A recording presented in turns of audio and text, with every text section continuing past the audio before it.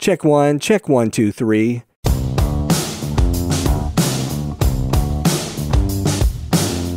Hey everybody, it's Michael Helms, also known as Michael the Sound Guy, and this is the Location Sound Podcast.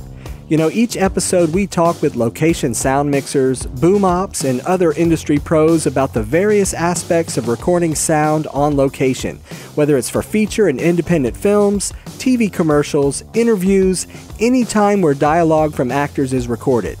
I started my career in the recording studios in New York City with some of the big artists back in the day, and later on projects for networks like HBO, Sci Fi Channel, and the Cartoon Network. As time went by, I got out of the studio and began working in production sound. Whether you're a seasoned veteran or just starting out, thanks for joining us. My guest today has worked as a production sound mixer on shows like Fear Factor, Discovery's Naked and Afraid, and National Geographic's Ice Holes and Filthy Riches. Please welcome Jimmy Sieczka. Thanks for having me, Michael. Now, Jimmy, you've worked in some extreme environmental conditions in your career. So, what's in your audio bag when you're on location for a show like Ice Holes? Uh, Ice Holes was a really interesting uh, show. That was with Nat Geo in um, 2014. So that that show took place in Maine, uh, New Hampshire, and uh, Minnesota, and we were recording in as cold as uh, negative 40 degree Fahrenheit. Oh, yeah, it was uh, it was it was it was a horse of a different color, to put it that way. Um, that particular show, I was using uh, Sound Devices a 788 and all Lectrosonics for wireless. And what was really interesting about that is because obviously it was uh, such cold, frigid weather, uh, all located out on frozen lakes around the United States because it was uh, an ice uh, ice fishing competition. You know, obviously we ran into a lot of problems miking people because they have to provide themselves with the right warmth and clothing. So miking people was a bit of a nightmare because the mics would just get buried underneath all of the clothing. And then if you left it exposed, well, guess what? Then it's going to be exposed to the elements wind, water, snow, etc.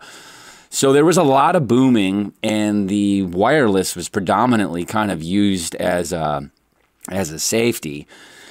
And then on top of that, as um, some mixers may know that have wor- worked in um, really frigid cold weather, all of your batteries go go really really quick. So what I did with that was, um, thankfully, production had provided us with um, hand warmers.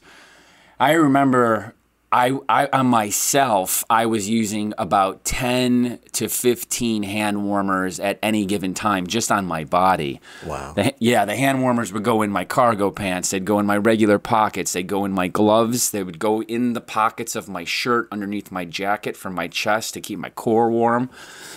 And then I just started to realize that the batteries kept going, and I was like, well, what the hell is going on with these batteries? So I did a bit of research and figured that all out because I had never, I've only, at that point, I had only worked in, you know, moderately, you know, warm conditions. I hadn't moved to Asia yet and experienced all of that. So I hadn't worked in cold weather like that before. And I realized if I, there was like sticky tape to the uh, hand warmers. So what I would do is I would just bundle up all my batteries in my rig, which made my rig exponentially heavier. Yeah. And I would just wrap hand warmers around it, and it was a night and day difference in terms of conserving battery power and being able to get those batteries in the show and max them out with, uh, you know, a good amount of time versus just dying as quickly as they were before I actually discovered that. So, um, you know, like any job, you're always constantly learning. It doesn't matter how long you've been doing this; you're you're definitely learning every time you're on set. I saw your article on in Rycote, which was Yeah. fab- fabulous article, great bio. Thank you, thank you. Now you had uh, at one time, I guess you were using Electrosonics primarily, and then you switched over to Wisycom. Yes. Um, so I was I was using Lectrosonics probably since I started my career in 2005, and then um, around 20. Well, all right, we'll back it up. So Wisycom has a big presence in Europe and in Asia. And when I was living in Asia for five years, I started hearing this name Wisycom. This one company wanted to hire me, and I asked for their gear list, and they showed me this company, Wisycom, and I was like, "Well, who the hell are these guys?" You know, it sound. I thought they were just some generic company. You know, I had never heard of them, and you know, I was a bit ignorant at the time about you know their whole presence and whatnot. So it turns out that they had been around for you know a couple decades. They're they're out of Italy, and their uh, their bread and butter was Asia and Europe. So by the time I came back to America in 2012 from living out in Asia, I started hearing all this talk about Wisycom coming to America, and I was like, I remember them from when I was living out in the Philippines. So I started doing some research, and uh, you know they were releasing, I believe, in 2014, an ultra wideband receiver, um, which covers, you know, I don't know off the top of my head, it's like 470 to 698. I don't know how many blocks that that correlates to in, in Lectrosonics, but mm-hmm. it's at least six, uh, I'm guessing. But it's it's it's a shitload of uh, usable frequencies. At the time, I was uh, in a business with a, a buddy of mine called Noise Boys. I've, I've, since gone my own way, but we decided to just buy uh, a bunch of different receivers and transmitters through Wisycom, and I haven't uh, I haven't gone back to Lectros yet. I still use Lectros for my IFB and for hops and stuff like that, but when it comes to uh, talent, I, I don't I don't see a better wireless system than them right now, to be honest. Okay. Yeah, I actually been using Lectrosonics for years, and it comes time to make a new purchase, and I was like, okay, which, should I change? Should I switch up? So, you recommend Wisycom? Consider it. They're also putting out. Um, I just spoke with them. They're putting out a new block because obviously, with all of the new coordination of blocks and frequencies, T-Mobile bought. I forgot what it was, like forty percent of the airwaves. yeah. There's a little bit of a scramble. Wisycom. I had just talked to them. They said they're going to be releasing. Uh, a new wideband block that's going to be taking up some of that bandwidth that um, you know people are going to have to start moving over to or should start moving to right now. So that's that's good. They're they're on top of the change that's happening with all the the frequency bandwidth that's getting flipped around. Okay. Now uh, with your kit, uh, say for Ice Holes still, and then you were primarily booming. You said. yeah, as- a lot, a lot. So and that wasn't just like a softy. Uh, and a mic, you know, that was a full Zeppelin, Windjammer, uh, 20 foot pole. You know, you're out on ice, you're sliding around, it's mm. windy. Yeah, it was it was interesting. It was difficult for wow. sure, for sure. And what shotgun mic did you use? Uh, we used the uh, MKH 60 and 70. Okay. Yeah. Now, in contrast, when you're, so your audio bag for Discovery's Naked and Afraid, Mm-hmm. What, what, was that like? That is um, that's a little bit more of a, a simpler profile. It's uh, Sound Devices six three three, Electrosonics for the Hops, IFB, and Talent.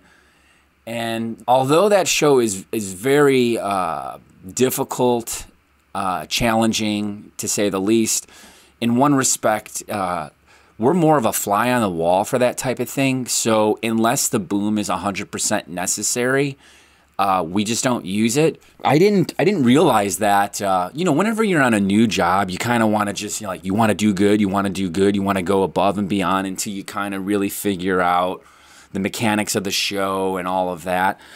And I remember the first episode I did, we were out on the the edge of the beachfront where the the beach hits the water and that was because the cast didn't want to be too far into the jungle because you have all of the different bugs and elements and whatnot. So they wanted to stay closer to the water because they weren't uh, so close to all of the elements from the jungle. And it was so, so, so windy. And I ended up booming that whole episode. But I later figured out and realized after like watching the show and all of that and talking with the producers and the other sound guys that that whole element of um, how do you say it, the extraneous noise from you know the wind and all of that, that all plays into the show because it mm. creates that that realistic feel to it.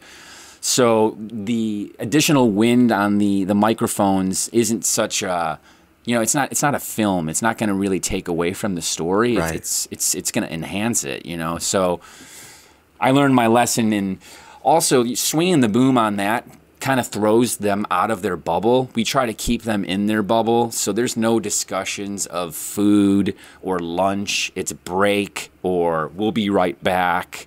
You know, um, we, we, we, you know, the seasoned guys tend to not wash their clothes, you know, when we're on that because after two or three days with those cast members, their sense, all of their senses are heightened uh, exponentially. So washing your clothes and coming to set, throwing them out of their bubble, throwing a boom over their heads when it's not necessary, you know, throwing them out of their bubble. The only time it's really warranted to, to throw a boom over them is basically what I do for that show is uh, we we rig a Countryman B6 into the necklace that they're wearing, and then the cable runs through the strap of the satchel that they wear, the burlap bag, and then the transmitter, which is uh, I believe an they call it the SMQW, which is that waterproof Lectrosonics. Okay. That lives in the bag. But whenever they want to go for a swim, you know, we're going to take that off and put a dummy necklace on. And then that's when we're going to boom. But otherwise, we stay completely away from it and we just let them exist in their world. Man. And then they're going through water, they're going through mud, they're and you're you guys are like right along with them? Man, it's like I did one in I did one in Trinidad, and I'll tell you what, we would dr- uh, we would drive an hour and a half, then we would get to base camp. Base camp, we'd kind of get gather ourselves together and all of that. And I'm not even shitting you, Michael. We would walk two miles through the jungle. Have you ever seen Tough Mudder or know what that is? No, no. Tough Mudder are these relay races, let's call it that, that uh, athletes join around the world, and it's this highly competitive event up and through mud and you know hills, and it's a relay race, and you know ropes, swinging, all of that. And I'll tell you what, Trinidad was exactly that. It was a two mile walk from base camp to cast camp and then my day started. That's when I mic'd. So that's like you're you're just up, down, ropes, sliding. I mean, there was points where I was literally just sliding down the mountain because it was easier because I would just fall. I mean, it was it was wild. And then, you know, then your day started. Oh, now when you're miking people up, do you have any particular techniques you like to use? Do you use certain expendables? In terms of miking people and expendables, I you know I kind of have like a tackle box of different elements that I use. I primarily use um, Sanken COS 11s for all of my miking. So for those, I have the I think they're called the RM11s, which are little square rubber mounts, which are really great for you know when you're doing dress shirts and collared shirts and stuff like that. It's got a low profile. It doesn't. It's not too obtrusive and it's not too thick, and it creates a nice little air gap and barrier between your shirts, so that mic can breathe a little bit. I've got vampire clips, moleskin's a necessity, transport tape.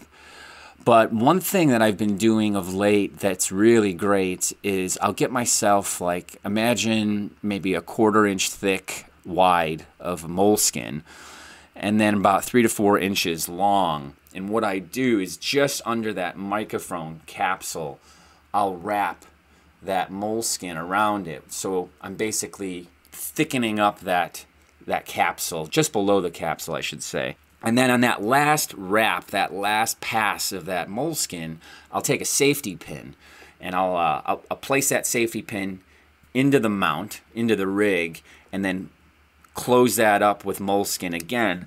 So there's enough barrier between the safety pin and the element of the capsule so that the safety pin isn't actually knocking the capsule and creating any noise with metal on metal. Right. And it's also creating an air gap kind of similar to the RM11, the, the rubber mount. It's kind of the same thing. But what what I'm using instead of sticky tape is the safety pin. And this works really, really good for reality shows where you don't usually have a clue what's going to happen. Mm. Are they bending? Are they running? Are they jumping? Are they hammering? Are they what are they doing? You know, are they working in a kitchen? Are they working outdoors? So that safety pin is not going anywhere. So mm. as long as you give yourself enough slack on that that cable, it's set it and forget it for the most part, and I've I've had some really amazing results with that. I was actually just talking to um, to Rycote with their development team a couple days ago, and I was showing them the rig that I made, and and I'm not the only one by all means using it, nor was I the one that came up with it. But I was telling them about how they can incorporate maybe a, a clipping mount that has a safety pin. So it wouldn't have the same kind of security as, let's say, the moleskin tape that really isn't going anywhere. Mm-hmm. But imagine the kind of security you have when a shock mount locks into a boom, uh, a shotgun mic. You know, it's you got to really pull it out of there for right. it to come out. Mm and uh, they really like the idea. And you know, there's a couple other like companies. What is it? Hide a mic and right. a couple other guys that are creating kind of similar stuff. And hopefully, uh, they they like some of the ideas and they come out with something. Because the problem the problem with the technique that I was telling you about with the moleskin is yeah, it works until it doesn't work. So then what happens is I got to take the moleskin off and then there's going to be residue and it's going to take time and time is money when you're on set. So you either have to have enough mics locked and loaded that you have set up for the safety pin technique, but then you also have some backups that you can just pop into a different type of rig. You know, and sometimes people don't have, you know, they're, they're new starting out in the business and they don't have that money to have those kind of backups. And so a quicker, easier, efficient method is out there. It's just I'm kind of waiting for, you know, one of these guys to uh, put it out there and make it. Oh, that's great. Yeah, a good tip too, because yeah, we've all had situations where the mic people are sweating if it's on their skin and it drops down inside their clothes and absolutely, and, absolutely. And then some people, if you use like transport or medical tape or something, they're allergic to it, or yeah, you know, there's there's always something. But there's another there's another thing that I used to use a lot that I just don't see them anymore. The the mic bras. Do you remember those? Hmm, I'm trying to remember. So it's just like it's just like imagine like a uh, just a small elastic? It's like a suspender strap, but okay. it's just for a chest, you know, for, for dudes. Because primarily for women, you know, if they're wearing a bra, you can just go to the bra and just kind of forget about it.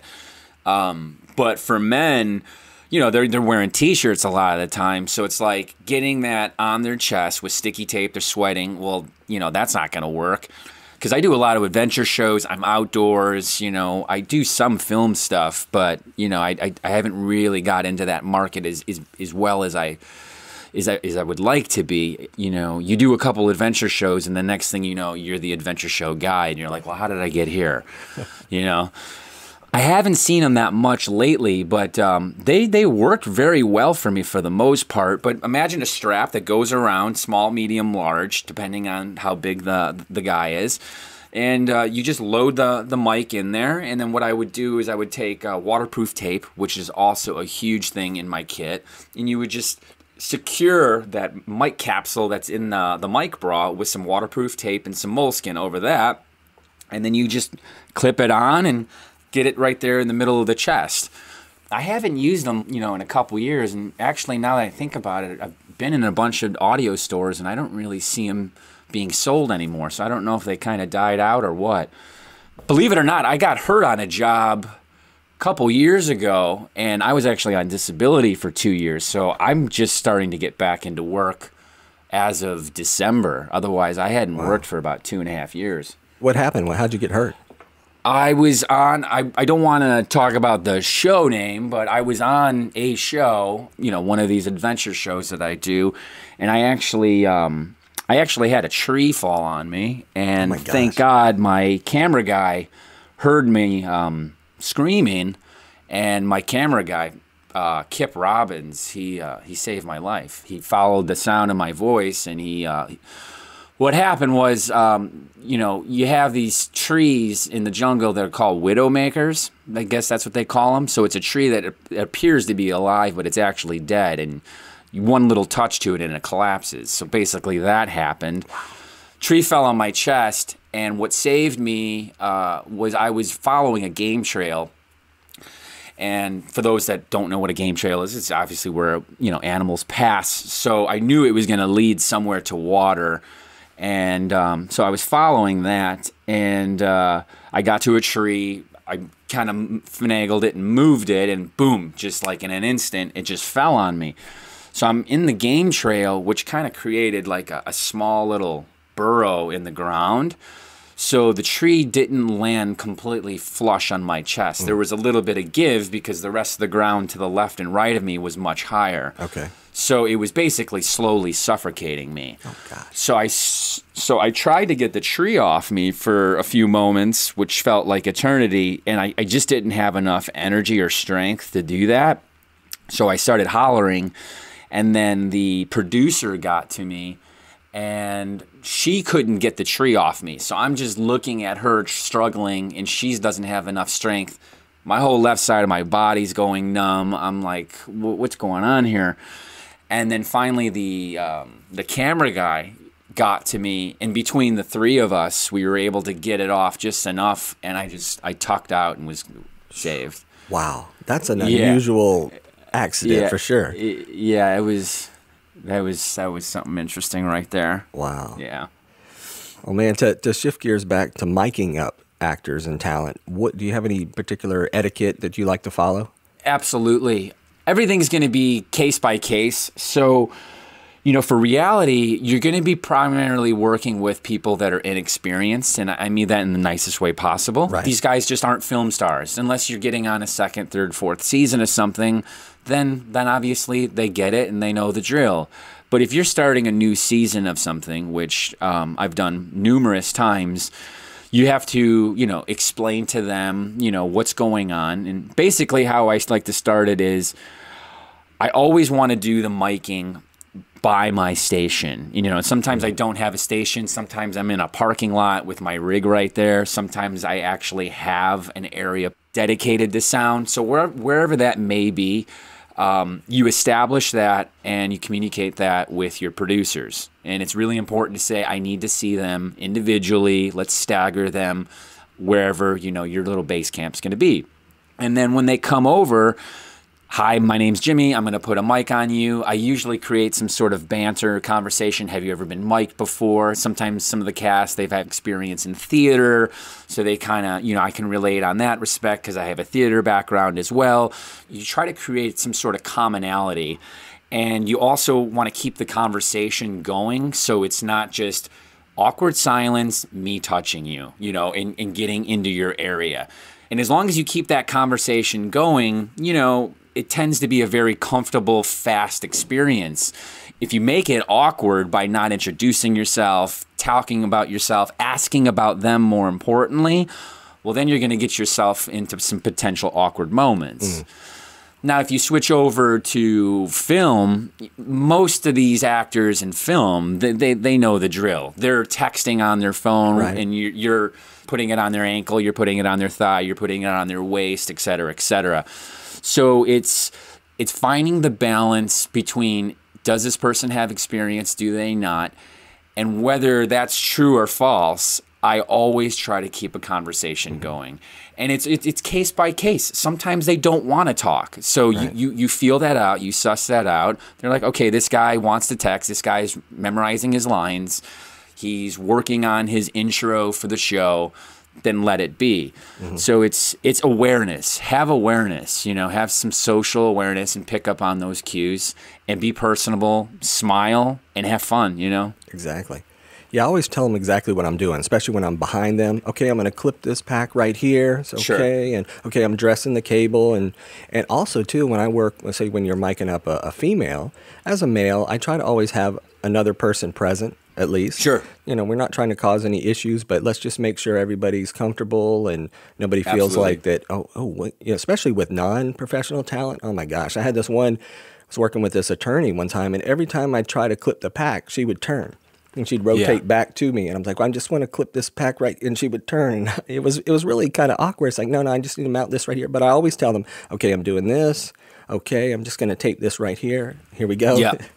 so Communication is key. exactly. Transparency, communication, and you know, I, I, I try to keep it fun. You know, and not just so like serious. I mean, although you know.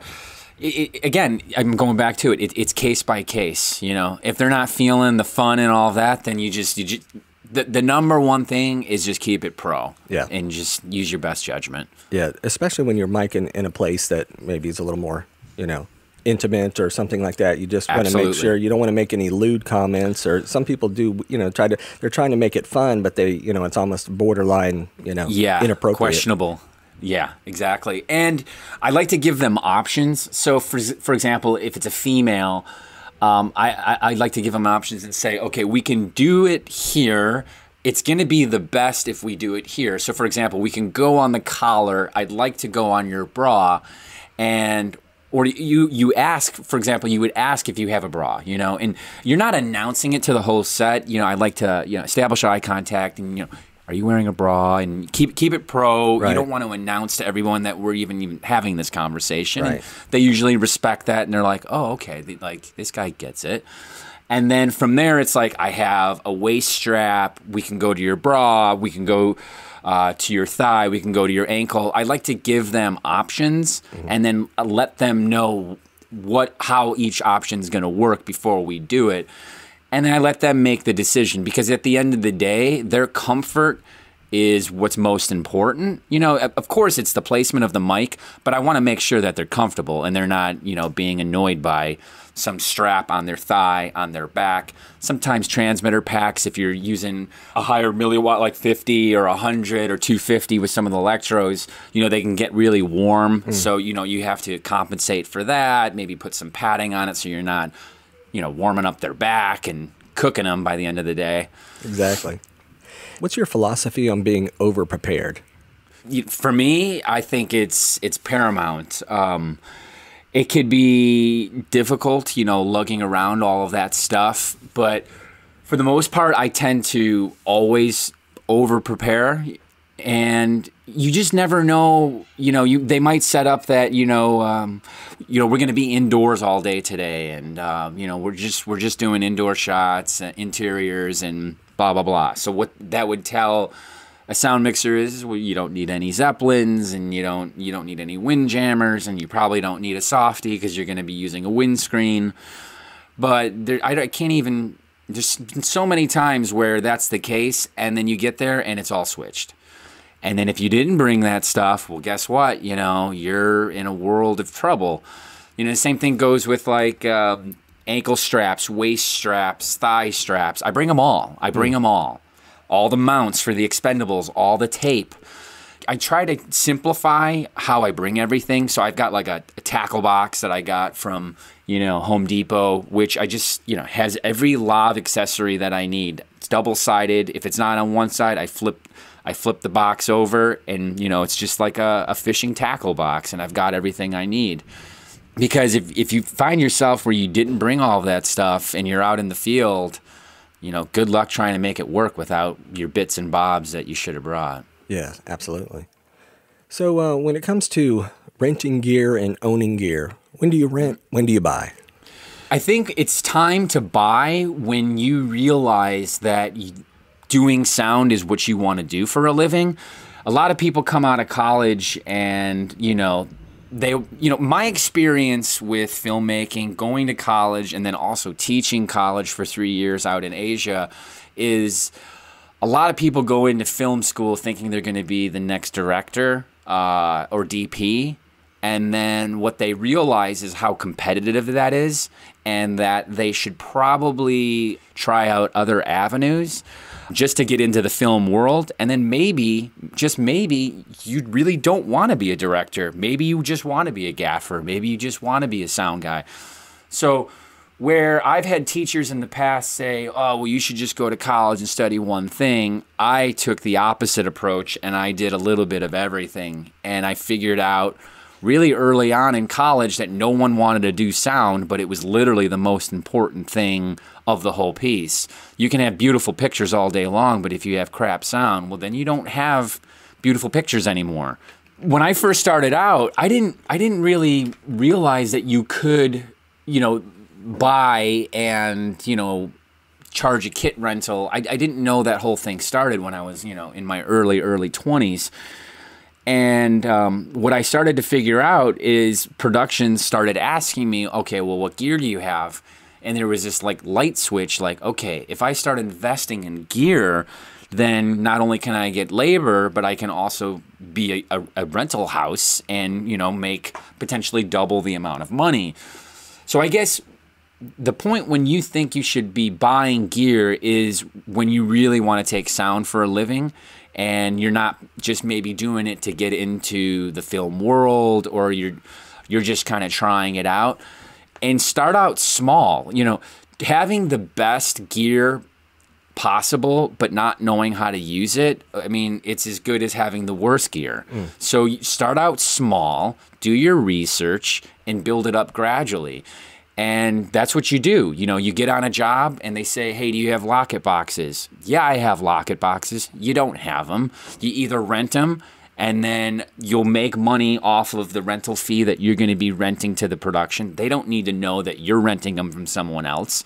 You get that additional $25 a week or every couple of days for the Lockit boxes that you're quote unquote providing and now you're you're getting extra cash which now allows you to stop renting those, return mm. them, and actually buy your own. Mm. So guess what? The next project you're on, now you could you could say, yeah, I do have Lockit boxes, and I don't have to worry about renting them and providing them.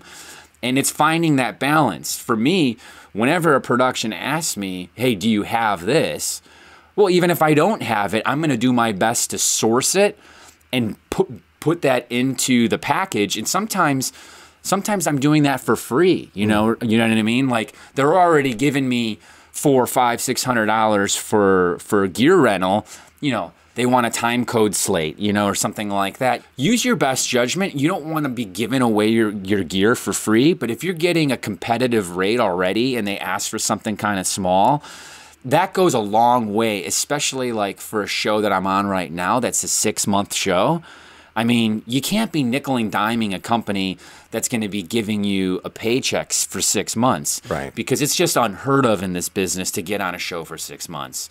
It's few and far in between. So you got to really pick your battles. But you also like going back to, you know, renting gear is like you don't want to give it away for free. So make sure that you're checking with other sound mixers, make sure that you're you're going to different message boards and you're you know what I do is I, I'll like to get quotes from dif- different rental houses. If I don't have an idea of what something's being rented for, I'm going to get a quote from a rental house and I'm going to figure out what they're doing and then I'm going to match that. You know, start there. Right. You know, don't give the stuff away, but when it comes to really long shows like that, I like to throw in some stuff here and there because they, they just they're getting a better value, you Right. know, and you don't want to undermine them, especially if they're giving you half a year's worth of work. Absolutely. Yeah. Now, uh, yeah, speaking of time code boxes, do you have a preference that you like working with, say, compared to another one? I just use the uh, the ACL 204s. What I like about those um, is you have the actual time code uh, on the side Okay. of the Lockit box. So once you jam it, you don't have to necessarily go into sub menu like for a 788. You don't have to go into the jam menu and actually see whether or not that time code stamp is syncing up with the Lockit box and your um, and your recording device. You actually get that numerical timestamp boom right on the side of it. Now I've I've seen like I, what is it like the bento box I, I um and there's a couple other lower profile um, Lockit boxes that I, I just haven't gotten my hands onto just yet. But I tend to just use the ACL 204s.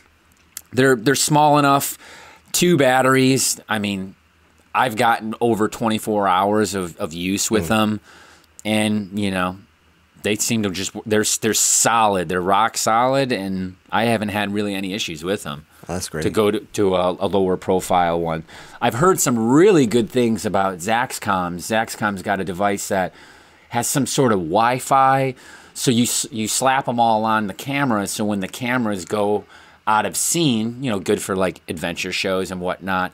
When they come back, they they all talk to one another. So if there's any sort of drift or anything like that, not only do you have the Lockit, but you also have a guide track, which um, I've never gotten my hands on any Zaxcom stuff, but Okay. it sounds like a pretty genius invention. Oh, yeah. So, uh, out of all the projects you've worked on over the years, what would you say was your most interesting project you've done? I primarily, like I've said before, do adventure shows, but one one project that I just I really, really, really loved. It was a film Bryan Singer produced in 2013 called "The Taking of Deborah Logan," it was a horror film. But what was great about it was there was a lot of ad lib and um, kind of like off script kind of stuff because the, the whole the whole premise of the film was kind of like a fly on the wall type of thing because it's about a girl that's doing a research video uh, on dementia. So the camera kind of the no the camera was a character in the um, the film, and so was the sound guy. So I got to do some really fun, fun you know, hands on, booming, and I didn't have to wear a bag. At the time, I had uh, my buddy Macaulay uh, Flint, he was mixing. We, we were using a wireless boom, and it was like working on a reality show because you had to anticipate who's talking. You're watching the throat. You're watching very very close details to see who's who's anticipating who's going to talk next, so you can get that boom over them. And the director was really impressed with me being able to stay out of the shot, me capturing all the dialogue, and I I credit that all to all these years of you know reality TV uh, experience. And it's interesting to take it a step further. You know, trying to to fuse reality mixing with um, scripted TV and film. It's really hard to cross over. But in, this was one of those particular situations where all of my skills working in reality helped me exponentially on that particular show because it, it, was running just like a reality show.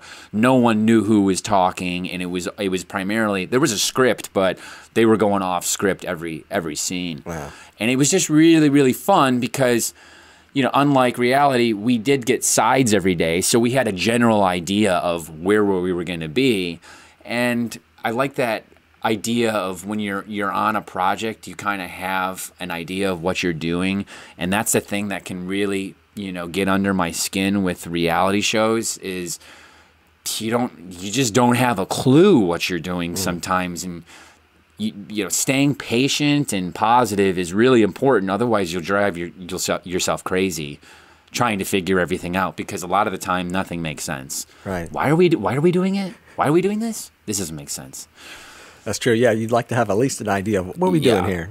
So. Yeah.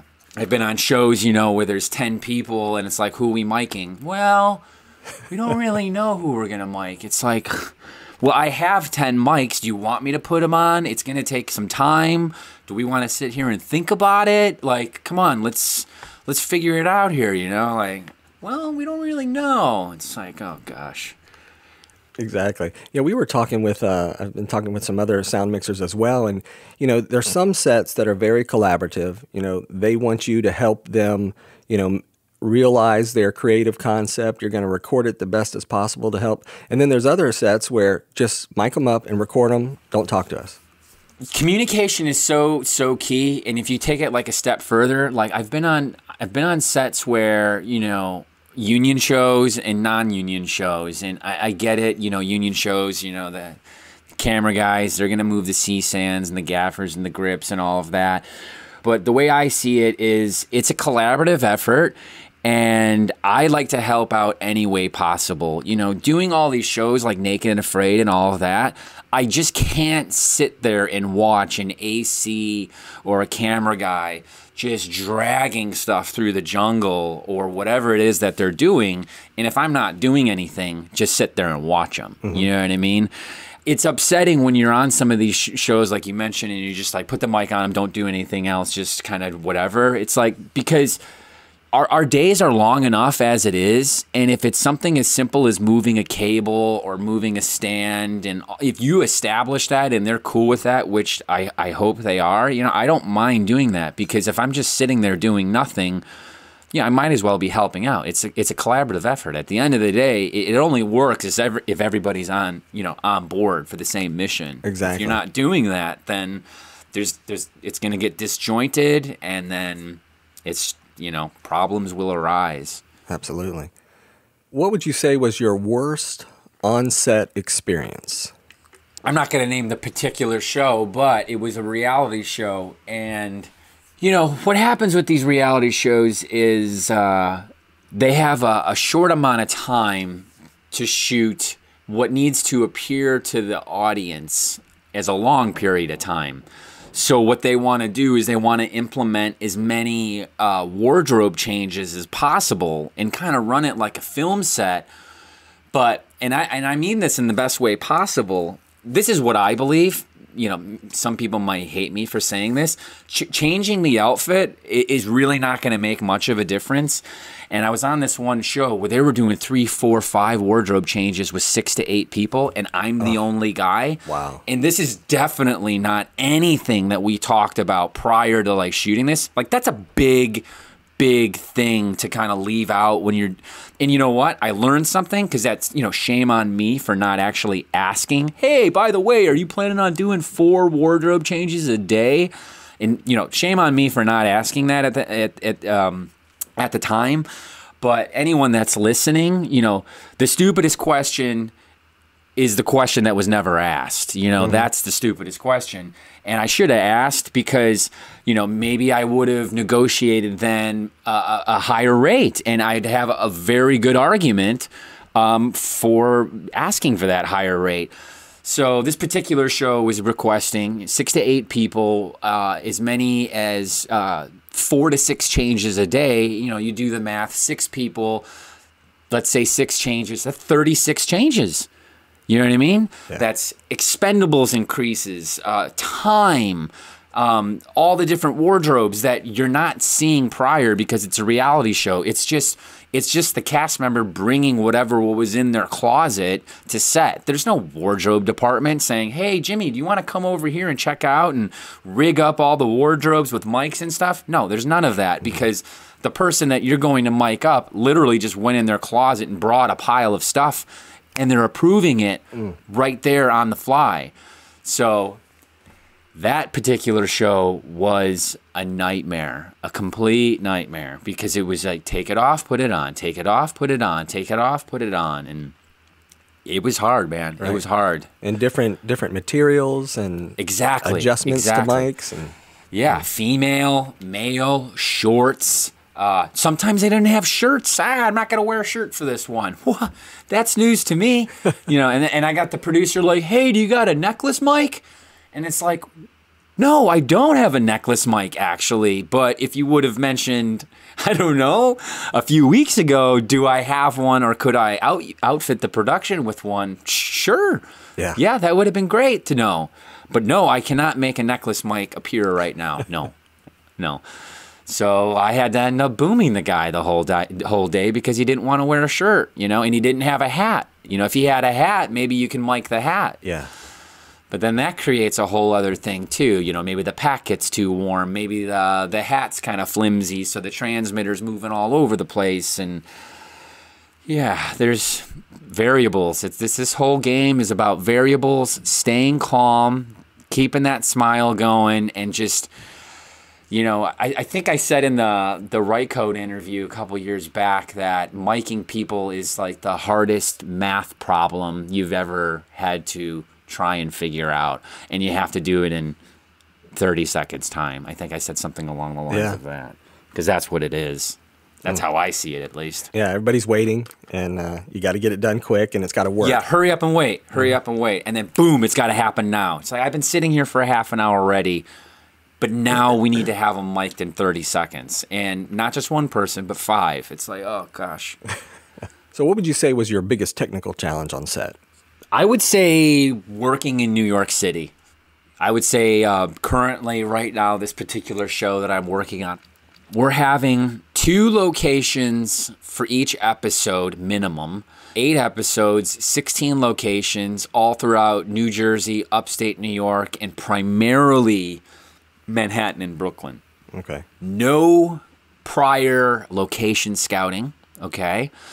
Well, Jimmy, you got Wisycom, so you got wideband and all that. It's like, well, yeah, but uh, I'm also using Lectrosonics Block 19 and 21 for my hops and IFB. So that's kind of the lower end, you know, what is that, 486 to like 510 and then 537 someone that knows all these frequencies is going to be like, this guy's an idiot. But I think it's like 537 to 560 for block 21. So that's kind of my bread and butter, 530 to 560 with the wideband in New York. but coordinating my talent mics with having those hops and uh, IFBs on the lower side of the bandwidth is is tricky. Mm. So I've been having to use some of the higher uh, frequencies that aren't necessarily as as clean.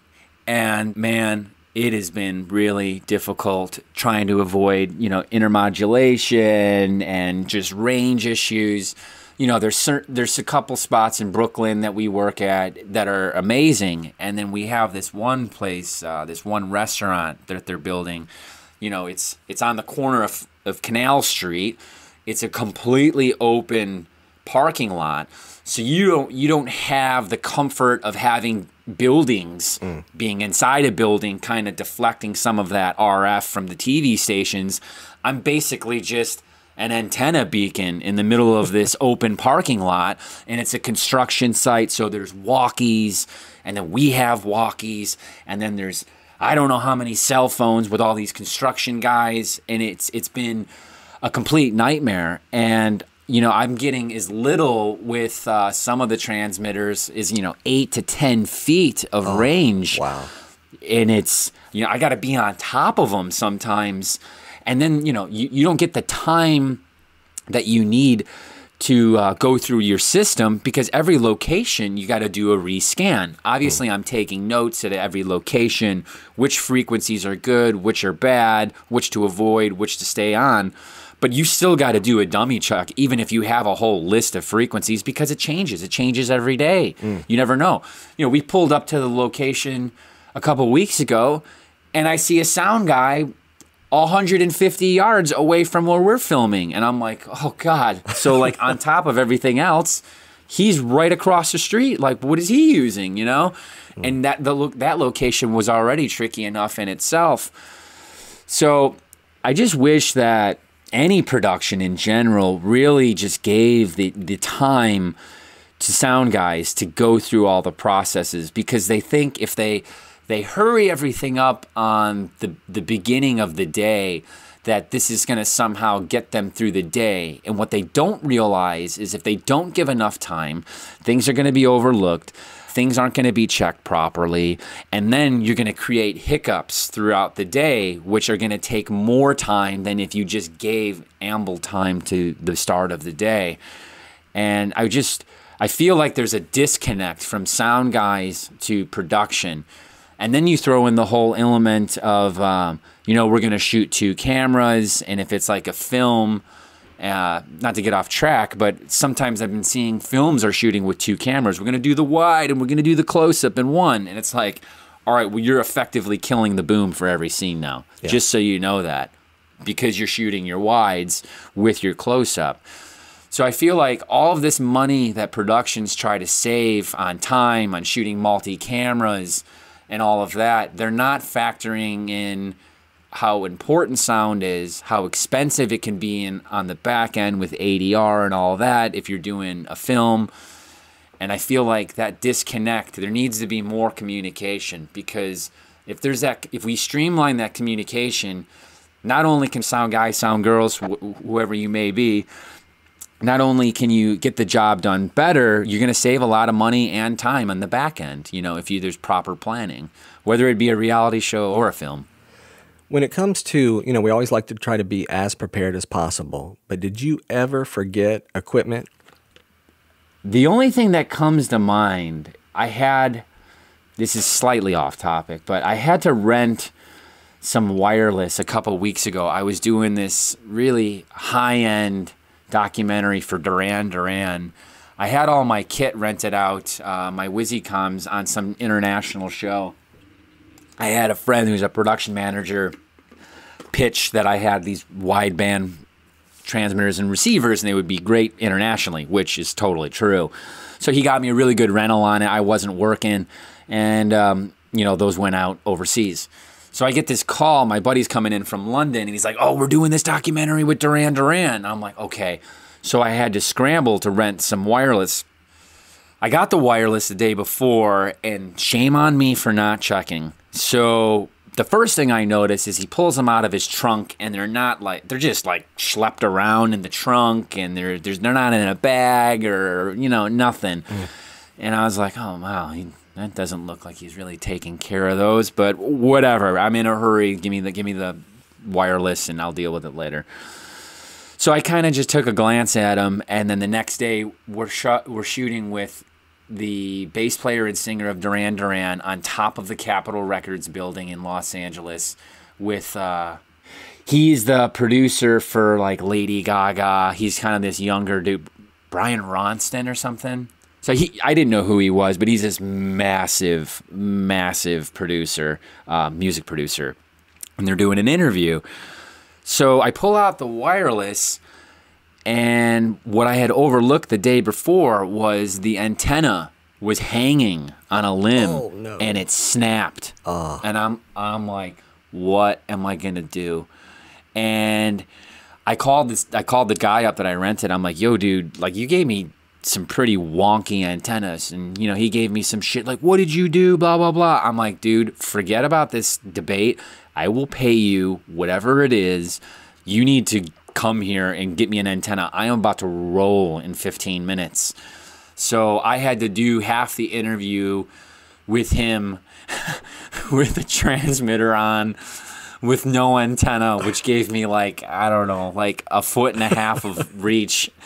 And I had to boom the rest of it, which thankfully they weren't doing like a walk and talk. And then the antenna got there.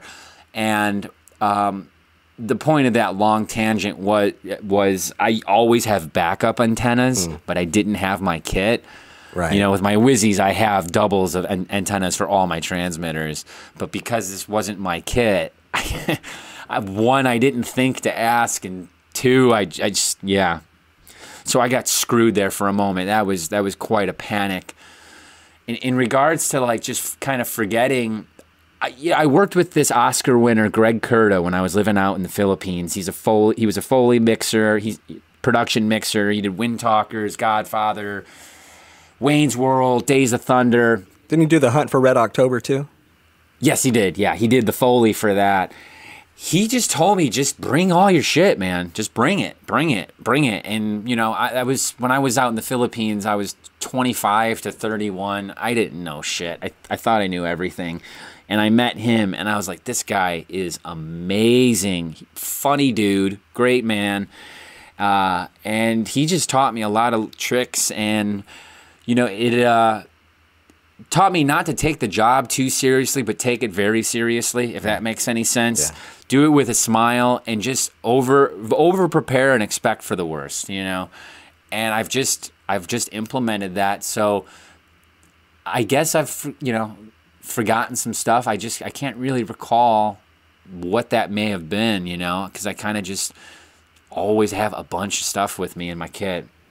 Anytime you have, like you said, just uh, some redundant gear to solve your issue if you break down. So that's some good stories there. Now, after the production's finished, we always have backups. How long do you keep your backups? I keep them for at least six months. It's it's usually a lot longer than that mm-hmm. because nowadays you can get a hard drive. I mean, I think I just got one, a two terabyte hard drive for a hundred dollars or less on Amazon the other day. And you know, to be honest, you know, if you're working and whatnot, if you're not investing in in media like that to back this stuff up, you're not playing the game smart. You mm-hmm. know, it happened to me two weeks ago. I got a day player on this particular show I'm on right now. I'm out in Los Angeles. I'm recently married. I'm hanging out with my wife, and I get a phone call like or an email. We don't we don't have Bruce's Lav. It, you know, it, it Bruce's Lav. You didn't record it, and I'm like, wait, what day was this? And they're like, you know, at such and such place, Bruce. They they were doing a walk and talk, and I'm like, hundred percent had it. I like I remember the guy. I remember miking him because we're working with different people all day long.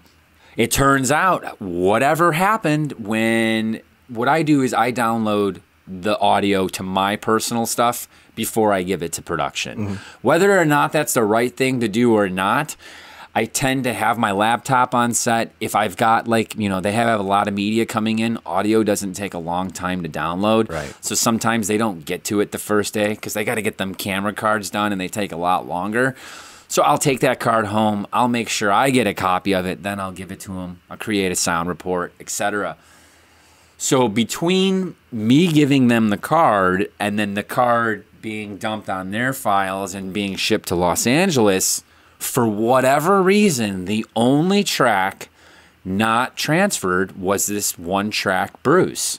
Hmm. You know? So I'm telling them in the email, I'm like, no, no, I recorded it. I'm listening to it right now. And they're like, we don't have it. I'm like, all right, great. We're not going to argue anymore about whether or not you have it.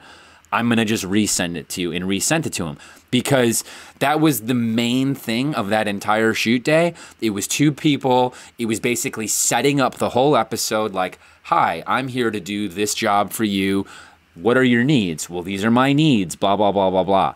So if we didn't have that, like that whole, what we call like the intake day, where they discuss and go over the project, like we just wouldn't have had it and we would have had to redo it and it wouldn't have been cheap and it would have been a nightmare. And that was all thankfully to me backing backing it up prior to giving it to anybody. Mm. And I don't know where I got that from or how I learned that. I didn't have any horror stories of not doing that.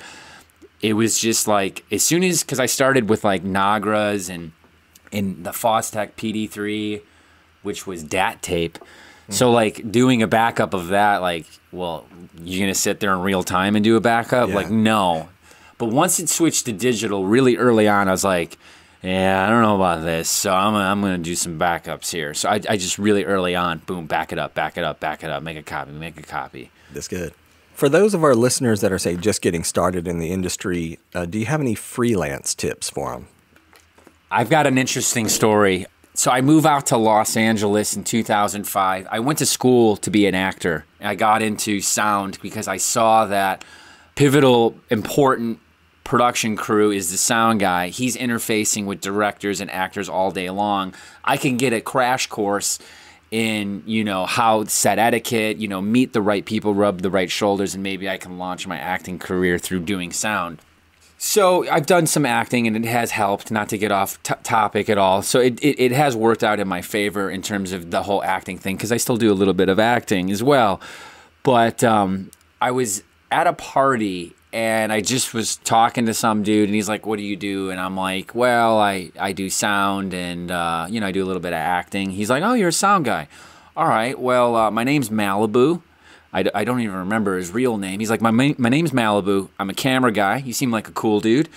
Here's this email. Email this lady in one month's time. Tell her you know me, and we'll get you a job at doing audio mixing. I don't have any gear. I just moved to LA. I'm like, I am so green. It's not even funny. Like green's just coming out of my ears. it's all over my face and I was at I was at this dead end like job. It was a post house where I was just answering phones, photocopying, doing dubs, patch bays, scratch removal. It's like, Jimmy, can we give you another thing to do? It was it was unbelievable. And I was just sitting there in Santa Monica, defeated, and I was like, oh wait, that guy Malibu. So I emailed the girl and said, hey, uh, I do audio and um, you know Malibu, blah blah blah. I don't have any equipment, blah blah blah she I'm 22 at the time. She emails me right back. She's like, uh, I can only pay you 350 a day. We'll provide the equipment. Can you start tomorrow? This is in 2005. I'm 22 years old, and I'm like, yes, please, let's do this. So I guess the takeaway there is uh, you got to put yourself out there. You got to put yourself out there you know, I come from, uh, I'm an only child, single parent. My mom raised me. You know, from a very early age, I had to adapt and overcome, and I had to communicate and make friends because I was always by myself. My mom was working three jobs. So my skill set is, is communicating with people. I can I can own a room and communicate with anybody you know, if it's a celebrity, if it's, you know, a, a student, a child, like I don't have a hard time connecting. Mm-hmm. And you got to put yourself out there, you know. Sound guys that I've, I don't work a lot with sound guys, but when I do, uh, I, what I notice is they're, they're a bit more removed. They're a bit more mm-hmm. introverted. They're a bit like, I'm going to set up my cart and be over here. And that's fine. That's fine. But, you're not going to get the the same growth as someone that's putting themselves out there and communicating and you know putting themselves out on the line you know and just yeah. this is what I do this is how I can help you you know networking absolutely you know? Now, when it comes to getting paid, do you try to get 50% up front or how does it work for, for some of the bigger jobs you do?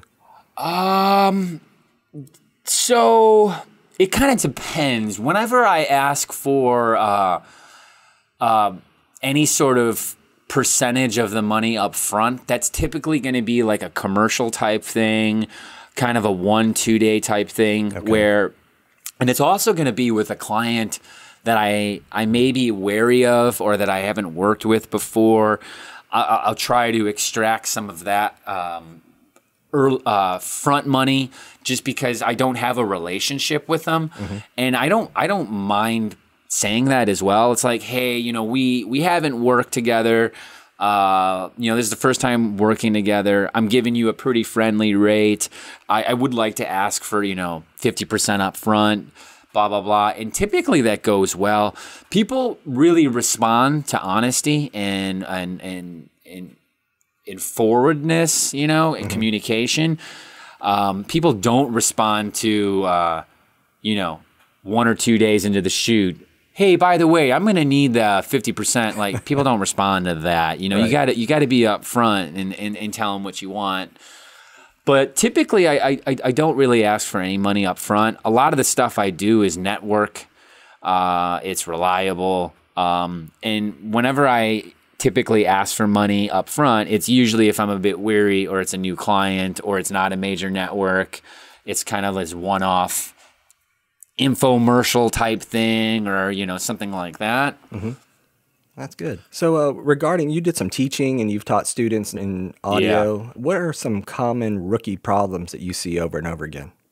Boom techniques. I think when I was teaching, um, there was a lot of like lazy you know boom techniques and you know if you if you use the the, the right boom techniques and stance uh, shoulders legs arms kind of all shoulder a little bit uh, wider than shoulder width apart and you keep your back straight you know you don't you don't uh, try and like angle the boom and like rest it like on your chest if you, if you if you use the right kind of techniques, you're actually gonna be able to get through the day a lot a lot better. And what I seen with a lot of the kids was, you know, they were just kind of using kind of a, a, a laissez-faire, so to speak, uh, approach to booming. So that was kind of hard teaching them. It's also, uh, you know, muscles that you don't use a lot, so it is hard for people that aren't used to doing it. So you know, it's it's getting that core uh, strength and also your shoulders and arm. I, I'm not a huge guy. I'm you know, I'm, I'm, I'm pretty skinny by uh, men's standards, to be honest. But if you, uh, you know, you do push ups and you, you practice and all of that, you'll get that core strength built up in your shoulders. And, uh, you know, that'll alleviate a lot of uh, the, the pain and all of that when you're, you're booming for a long time.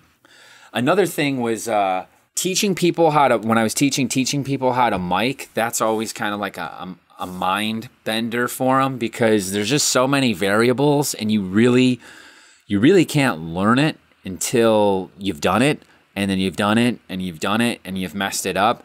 And there's there's literally no right or wrong answer. You know there's there's a there's a roadmap but you can always take the high or the low road or whatever it may be because there's there's always a potential better system. So you know, you'd show the students one one technique, and then they'd get it in their head that that's the only technique, and it's like, well, y- yes and no, and then that would confuse them, and they would trip them up. So I, I think the hardest thing, um, booming in, in mic placement, um, because for rookies and, and people that are green, they they think that it's just like you put it on and it's going to sound amazing, right? And they don't put in the fact that the material changes and um, maybe uh, the the the clothing the clothing material changes or uh, you have to hide the transmitter somewhere else so then you had to hide the cable somewhere else and maybe they don't have a shirt on you got to put it in the hat. There's just there's an exponential amount of variables that you know you have to be really quick on your toes. I used to tell all my students you have to uh, you have to be like a ninja. You have to be very uh, precise and, and quiet and quick on your feet. You got to be like a sound ninja. The kids seem to respond to that. very well. Yes. So, uh, how has the the business changed since you started? So my my biggest thing with um, this whole digital thing is this. This goes for camera and this goes for sound, and I've said this in the Rycote interview, and I used to say this all the time in my classes that I used to teach. You know, everything going digital has been like a, a blessing and a curse because take for example in the 60s the 70s even the 80s because i remember in the 80s everybody had a camera everybody had a camera you know everybody knew how to load film into a camera everybody knew what an f-stop was everybody knew what a flash was you know and now what, what what i'm seeing is you know nobody knows where they're going because they're relying on gps uh, nobody knows how the fundamentals of a camera, depth of field, aperture, lighting, all of this out the window. And then the same thing with sound. We're going away from uh, mixing and we're getting more into tracking. And I'm, I'm, you know, I'm, I'm guilty of it too because a lot of the reality shows they, they don't they don't give you the opportunity to to actually create a mix. And now you know, you have auto mix functions on these recorders that are, you know, they're they're pretty they're pretty good, man. They're pretty good. So what's happening now is, you know, I started on a Nagra and I had to figure out, you know, two, three different mics going to, you know, quarter inch tape. And you'd have to actually create a mix, otherwise you're just gonna have a mess. Mm. So that whole concept is kind of getting removed and people are bypassing it. I'll give you another example. When I went to film school, uh, we shot on film. So we got 100 feet. We had a film or 200 feet. We knew in 16 millimeter, I don't remember anymore, but at the time, you know, we would have to calculate how many, it's kind of noise in the background, sorry. But we would have to calculate how many minutes of footage you would get in 100 or 200 feet of film then we had to figure out how long our film had to be. So then we had to storyboard and figure out how many shots that we could get and how long those shots could be, our close up, medium, and wide. And we had to do that whole process because you only had, you know, X amount of, uh, of, of film. And same thing went with the, the quarter inch tape. Like you had to have some on standby. You had to know if you were running – uh, at you know 7.5 or 15 inches per second. You had to figure, you had to know how much time that was because you see it spinning, but you also have to be aware of the amount of time that's going by because you're gonna have to do a change, and it may be mid take. Mm. And nowadays, it's set it, forget it, hit record. Four gigs later, right. it just rolls over by itself onto a new onto a new take. So my biggest problem with the change is we're getting away from learning the fundamentals of filmmaking. Anybody can get an audio equipment now. Anybody can, you know, get a Zoom recorder. You got a time code Zoom recorder now that I think I read the uh, what did they call it? The F8. Yes. I think I think the old one was like a thousand bucks or eight eight ninety nine, or you could at least get it for eight ninety nine now. That's a time code eight track, I believe recording device. Right. It's, it's, it's insane. It's insane. So what's happening now is the market's being saturated. John Doe over there did this whole thing for 300. So guess what? This time around, we're going to do it for 250 all in. Oh. And it's it's it's creating a lot of discrepancies and a lot of lower rates. So, you know, up and comers that are are listening, you know, you're not going to come out the gates, you know, charging six to eight hundred for labor and, and, and four to four hundred to a thousand a day for gear. But be aware when you start growing with bigger productions and bigger stuff and bigger shoots that you have to also be firm with your rates and bring those up as well because what's happening is is the market's getting saturated and everybody's rates are going down the work is becoming harder work longer hours more miking more talent more microphones and it's becoming a bit of a mess to be hmm. honest yes times definitely have changed quick, very quick. Yeah. If some of our listeners wanted to get into location sound, what would you recommend they do? I would start uh, at ground zero, which is um, colleges, universities, film schools. They're, you know, print out a piece of paper, put your name on the board. You know, I'm sure there's, you know, we're getting into this digital era and people probably aren't using, you know, cork boards and stuff like that. Get on a message board for the school. Craigslist.